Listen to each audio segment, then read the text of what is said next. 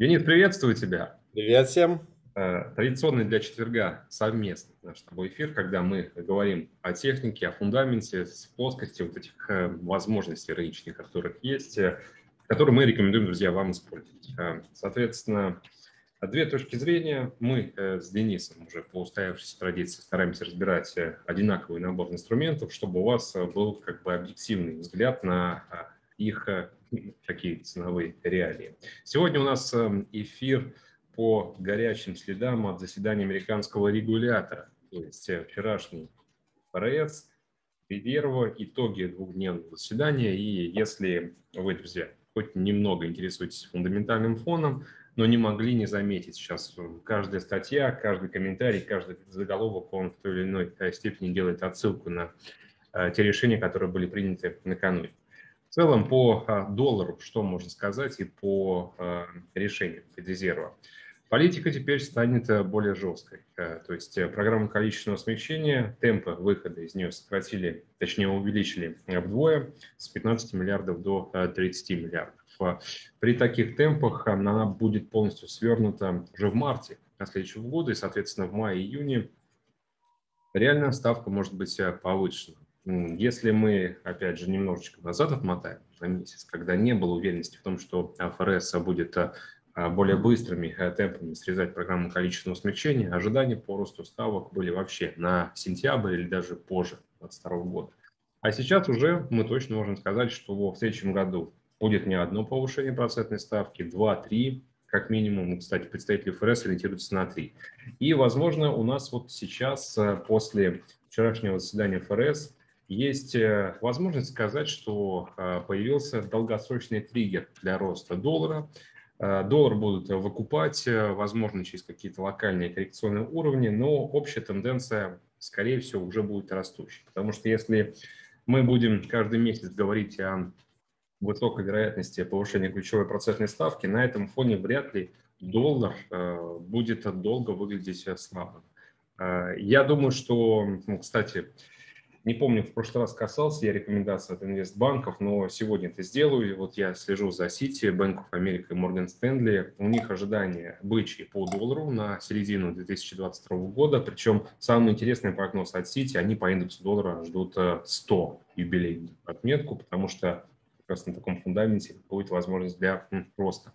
Я сегодня предлагаю посмотреть э, на европейскую валюту, потому что сегодня ЕЦБ также давай обратим внимание на фонд, Денис, потому что сегодня помимо ЕЦБ еще и заседание Банка а, Англии. Ну и а, если у тебя есть что сказать там в плане техники, по золоту тоже идея дать.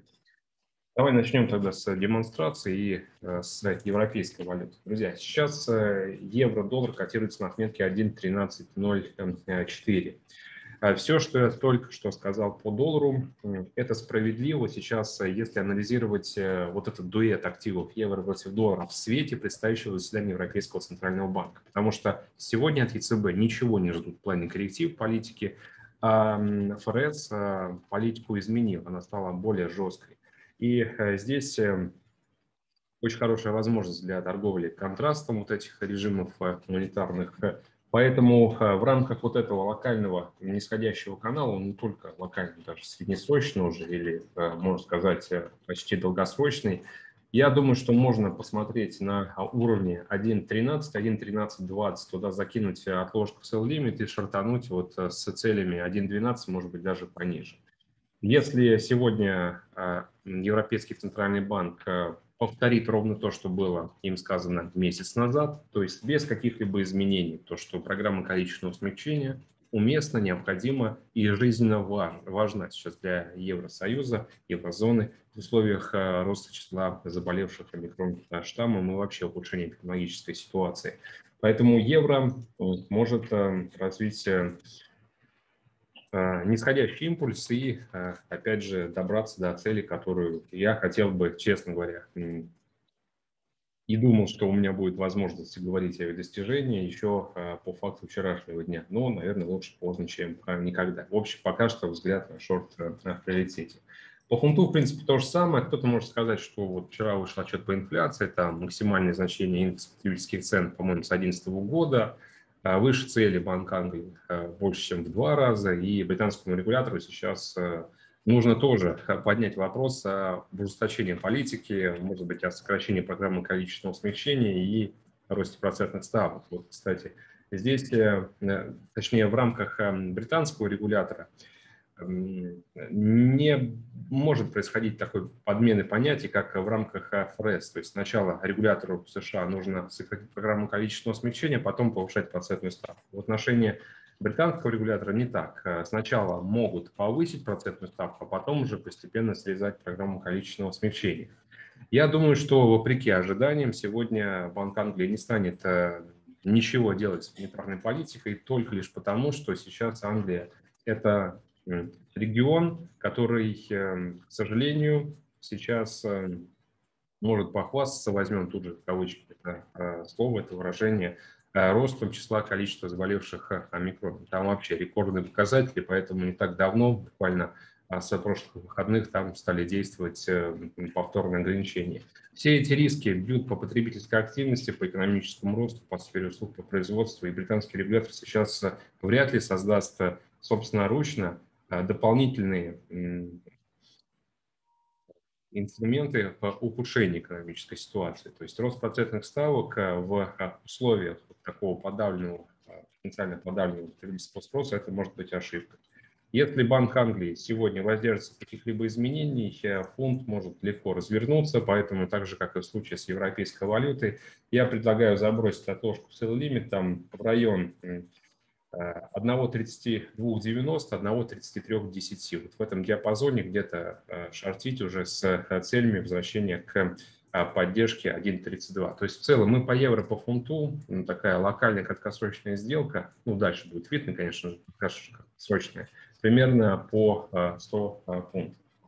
Что касается золота, здесь очень хорошая техническая формация голова плеч. Я думаю, что вчера, когда золото полетело к 1750, мы наконец-таки вот э, будем наблюдать за отработкой этой фигуры, но потом золото быстро э, выкупили. Это еще ничего не значит, друзья. Пока что золото не закрепилось выше 1810 долларов за тройскую унцию. Сделка на шорта будет э, эм, в приоритете. И золото позиционно будет снижаться, опять же, на фоне ожиданий дальнейшего укрепления курса американского доллара. Поэтому я пока что в шартах и жду 1750 и ниже.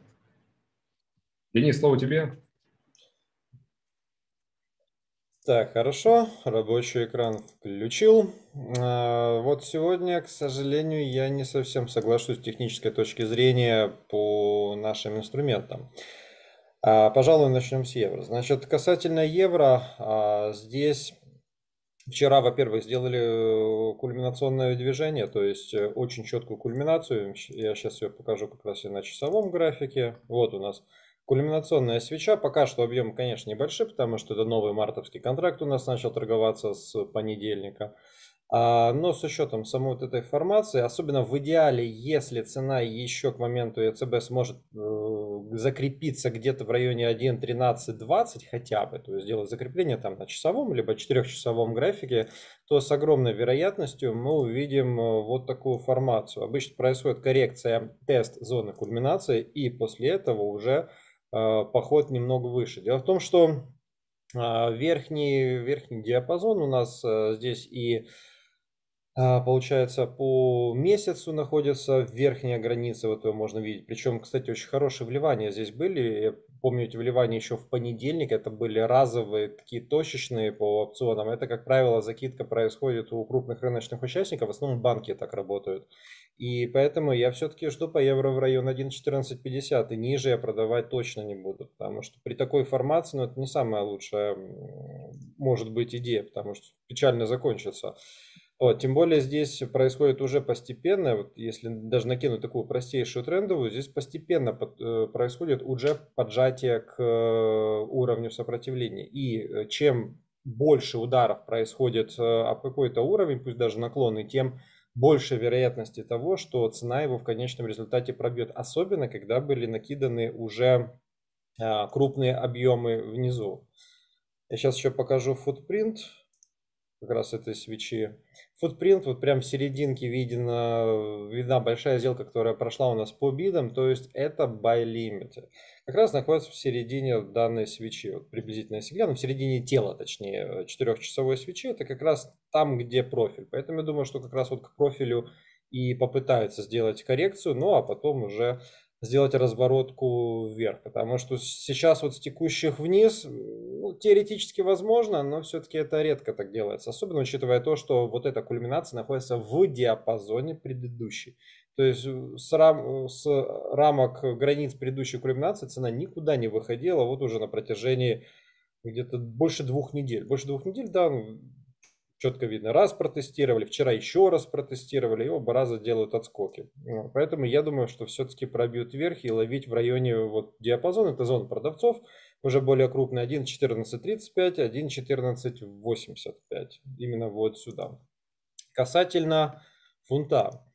А, по фунту в покупках со вчерашнего дня, когда была пресс-конференция от ФРС, здесь на самом деле ситуация такая достаточно простая. Во-первых, очень крупно делают накопление, это раз. Во-вторых, сильнейшая а, поддержка здесь техническая. Можно видеть, как выглядит канал, направленный вниз. У нас вот нижняя граница канала, и ее прям вот идеально а, протестировали. И сейчас у нас как минимум одна вторая маржиналка находится вот в этом диапазончике, близко с озвученным тобой уровнем, только здесь он начинается 1.13, э, ну, если округлить, еще 1.13.35 начинается вот отсюда. Но я думаю, его пробьют и как раз таки могут выше запросто сходить, потому что у нас вверху здесь целая такая совокупность эм, уровней, которые один стратегический, второй локальный для сопротивления. Поэтому, как по мне, то логично было бы э, увидеть вот такую реакцию вверх. Здесь уже ждут как раз лимитки у крупняка. В шести ордерах вот 410 лотов по,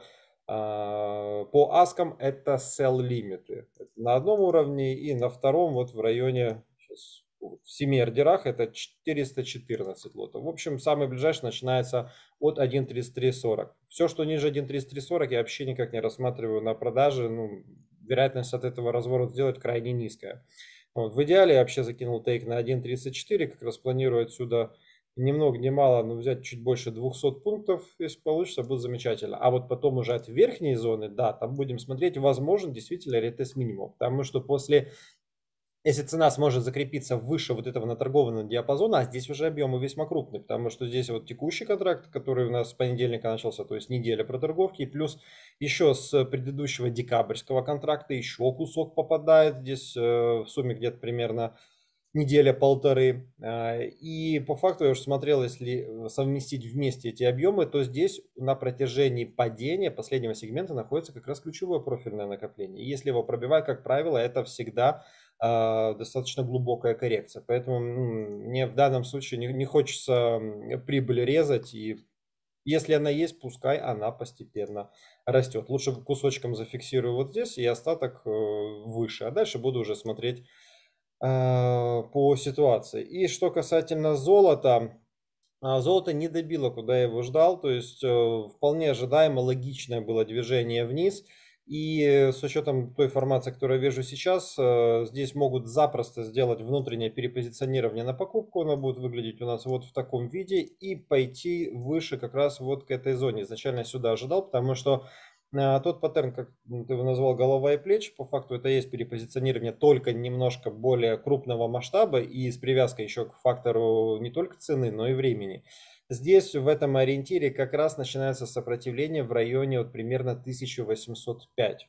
Вот. И сейчас правый сегмент формируется, поэтому продавать текущих не очень хорошая идея будет, потому что опять-таки внизу была сделана очень неслабая кульминация в текущем контракте. И с учетом быстрой реакции вверх, то есть готовятся уже сделать внутреннее перепозиционирование. Против такого я лично стараюсь никогда не работать, потому что плохо заканчивается. Поэтому верхнюю зону ожидаю, там где-то 1805, может быть там 1810, а оттуда будем смотреть, возможен действительно более такой глубокий спуск. Но опять-таки при, при в таком флетовидном движении золота уже на протяжении а, целого месяца как-то даже особо его, если честно, торговать не сильно и хочется. В общем, пока что локально, как минимум до следующего нашего с тобой обзора, я все-таки жду э, вверх на коррекцию вот к этой зоне. По-другому пока что у меня ну, не получается. Угу. Поэтому вот такие картины. Я все-таки больше локально за ослабление индекса доллара. Спасибо, Денис, за точку зрения, за комментарии. Ну что ж, еще раз э, повторю, друзья, что сегодня заседание Европейского центрального банка, заседание Банка Англии, как раз а, инструменты, которые точно сегодня будут под серьезной волатильностью, мы с Денисом разобрали. А за вами фактически принятие окончательного решения, как действовать, как быть. Ну, а мы с Денисом в следующий четверг, конечно же, обсудим все это, снова посмотрим, что изменилось, и при необходимости пересмотрим свое видение рынка. Денис, спасибо тебе большое за комментарии, хорошего у тебя закрытия недели и классных выходных. Ну, в общем, все как всегда.